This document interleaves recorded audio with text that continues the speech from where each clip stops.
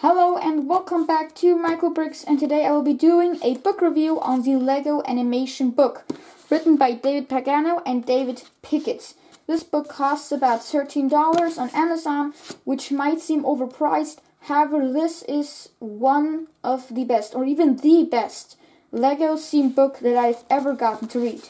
The Amazon link will be in the description below if you want to purchase this book and become a stop motion animator just like me. So, starting with the authors, we have David Pagano. He has a channel called Paganomation and is mostly known for his Little Guy series and his Garbage Man short that made it into the Lego movie. David Pickett also has his own Lego channel called Bricking, Brick 101, which is a lot more popular than Paganomation. And you also might have probably heard of him. I have been occasionally checking him out, and he seems to be inclining more to creating MOCs than stop motion. He is also famous for the inventor of the leg sharks. Now, this book is for all skill levels. You have a lot of content for beginners, even more for intermediates, some for advanced animators, and also a few pieces of advice for pros. One that I'm excited about is this chapter, the animating of the minifigure.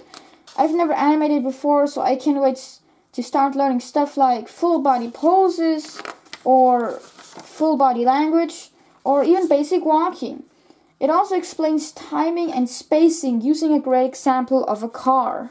I also noticed that they are more open to reveal how they did the animations, like the racing scene in Paganomation's Adventure of Max Beat Champion short, where the mountain seems to be moving a little while the trees are moving a lot faster.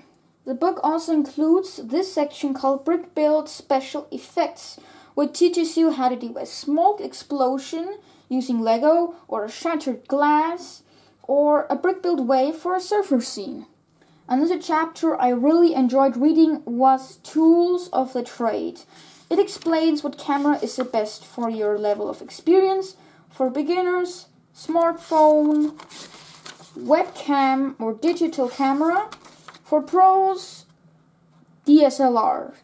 I have a DSLR, so I wanted to know if I could use it for beginner level. Well, it turns out I shouldn't. However, if I read the whole book, I'm not a beginner and I can use it. They also show you how to build a camera mount for webcams, DSLRs, smartphones, or even digital cameras, in case you don't have a tripod. Plus, it just looks freaking amazing, right? Another important theme is lighting.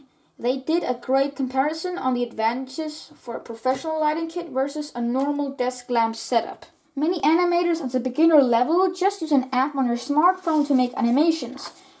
Up to now, I didn't know that there were stop motion softwares for PCs.